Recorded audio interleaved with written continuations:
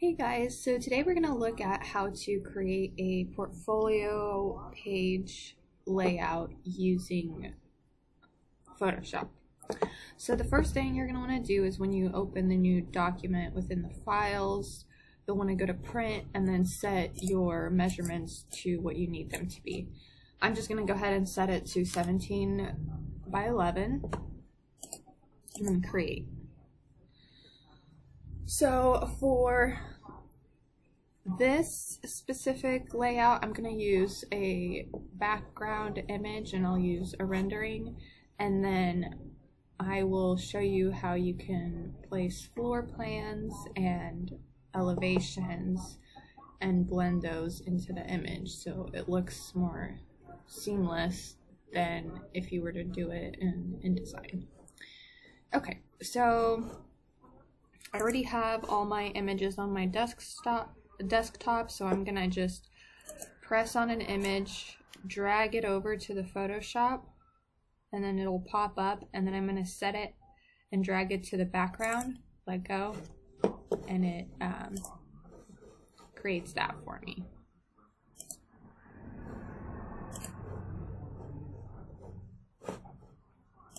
So this will automatically place your image as the background and then you can add layers on top of that using this icon at the bottom and place things on top of that. So the next thing I'm going to want to place is a floor plan, but before I do, I'm going to want to bring it into Photoshop and edit it to the way I want it to appear on this uh, rendering. Another thing you can do, which I'll go in more depth about, is edit like brightness, contrast, exposure on this image by pressing this um, half filled circle and it gives you all of these options to edit. so I'm going to go ahead and bring in my floor plan that I want to use. Now these aren't all from one place, I just kind of picked and dragged. So I want to use this floor plan. I'm going to hover over the Photoshop icon and then bring it up to the tab. That way it creates its own tab and we can edit it here. I'm going to zoom in just a little bit. And I did that by pressing Control plus. And I'm going to start outlining what I want to appear within the rendering and layout we just started. So I'm going to just use my quick selection tool. You can also use your magic wand tool. Um, it's just underneath that. So if you right click on the quick selection tool, it'll pop up the magic wand tool and I'll show you the difference. Uh, the magic wand just automatically selects what it thinks you want. Um, and the quick selection tool gives you the power to select it yourself. And you can also change the size of that quick selection tool. So I'm just going to use that. Just for me it works a little bit easier but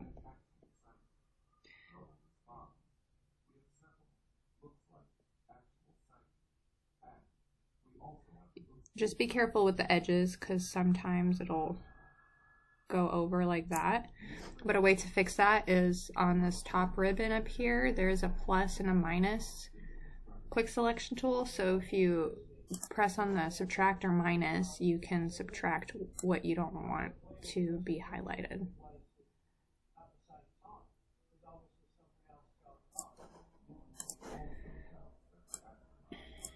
Like I said, if you need to zoom in, you can.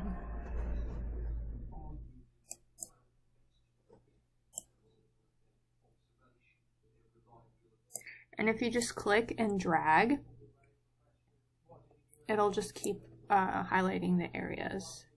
That way you don't have to, you know, keep pressing. But sometimes just pressing might uh, be a little bit more accurate. So just kind of play it out. Okay. Now, one of the things you need to make sure after you've selected all of this is that, like I said earlier, no outer space is selected, so that's just going to be you selecting your subtract quick selection tool and highlighting the areas which are out of bounds.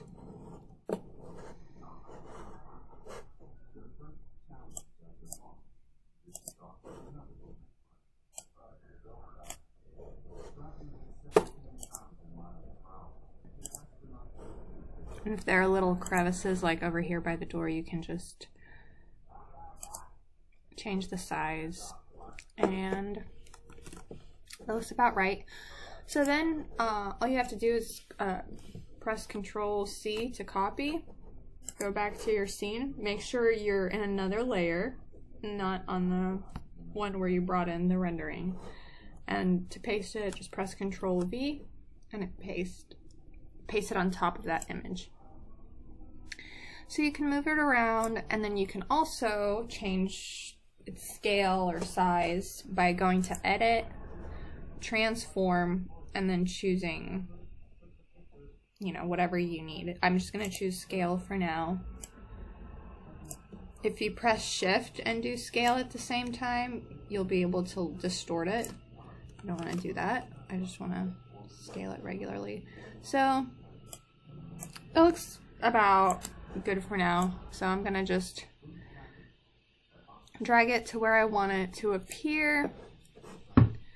Great, so once we don't need this image anymore, we can just close the tab so it doesn't fill up with unnecessary files. And then I'm gonna bring in my elevations that I just found online. I'm gonna create another tab. I'm gonna zoom in to the one I want. Um, I'll just use this one since it's the first one. And I'm just going to do that same thing with the quick selection tool. I'm just going to enlarge it a little bit more and make sure I'm in the addition uh, quick selection tool. So this one's uh, smaller, so it's going to be obviously a little bit easier for you to select it. Um, now, if you want, you can always uh, go in and just select the um, just the black lines and I can show you how to do that. Um, it's a little bit more tedious, but I can definitely show you a way to do that.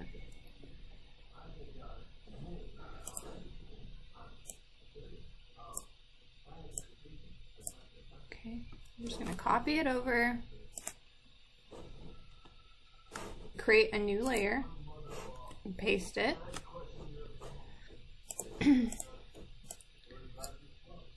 And then I'm gonna obviously scale this down a little bit. It's a little bit too big.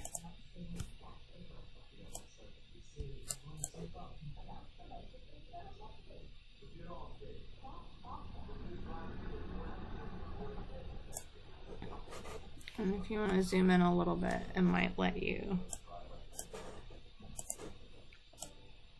move a little bit more freely. Okay, so here you go. So I'll go back to this. If you wanted to select just the black lines, um, I'm gonna just deselect this. So to deselect, I just um, selected this rectangular marquee tool, right clicked, and then it'll, if you have something selected, it will just pop up to say deselect. okay, so to bring in just the black lines, right click on the quick selection tool and select your magic wand tool.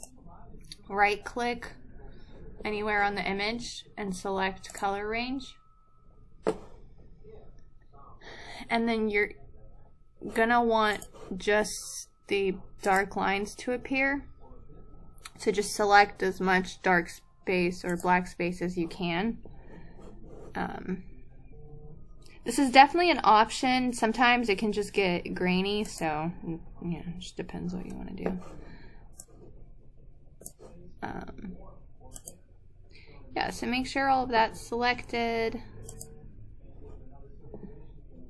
Um, can zoom in a little bit.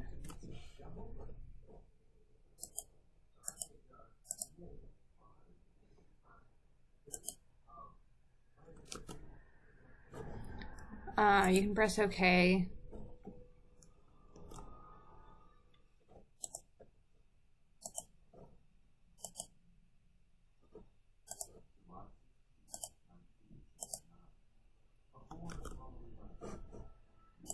And once you have all of these selected, you can just do Control C. Go back to your rendering with your floor plans and elevations that you already brought in and just press Control V. And then obviously you're going to want to scale it down.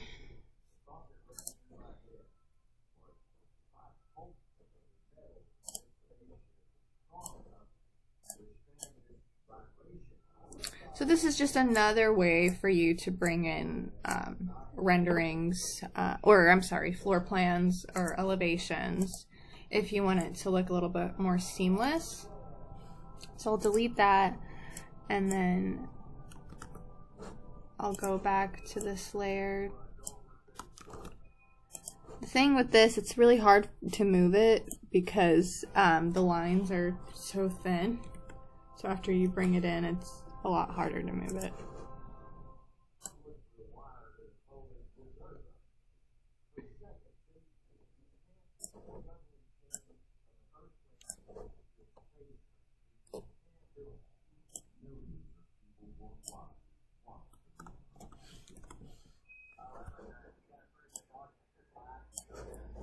So I'm actually going to scale this down just a little bit more so it fits, and then I'll show you guys the final step.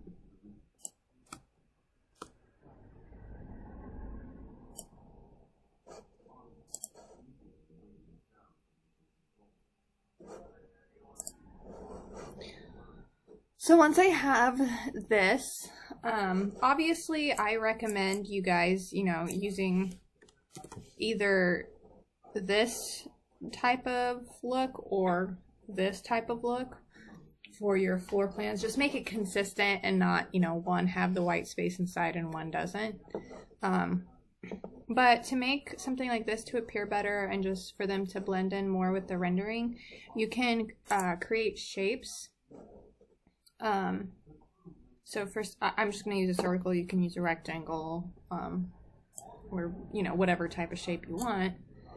Um, I'm going to keep it white. I'm going to move it underneath. And then I'm going to draw another one here. And that one's already going to be underneath. Um, so I'm going to close this properties panel. So once you have these, as you can tell, um, the obviously these are appearing a lot better. Uh, I'm going to go ahead and scale this one so um, all of the elevations are showing up.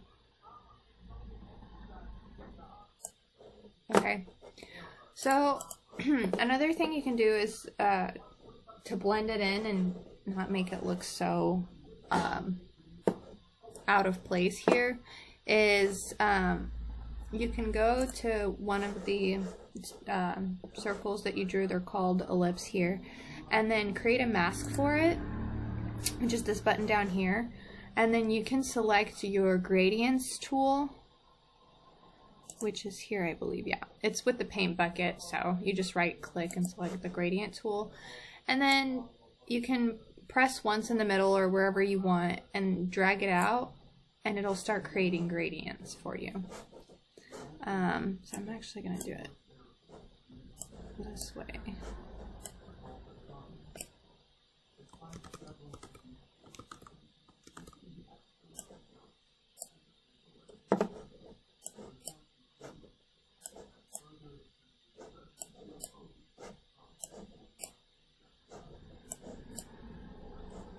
And then you can also change the opacity if you want.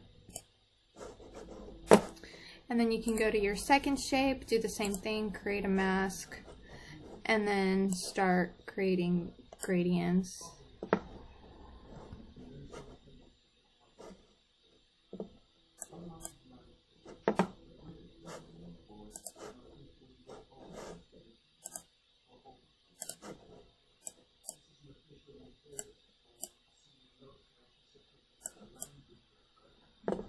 So once you have this, if you still want to blend it in better, you can use your blur tool.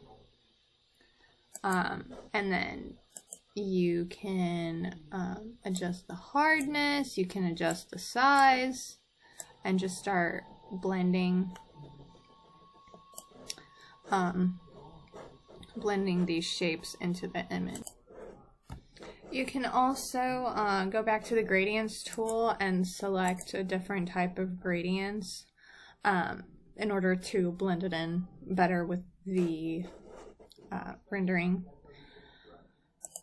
And so that's how you can place these um, elevations and plans and blend them in with your uh, image in the background.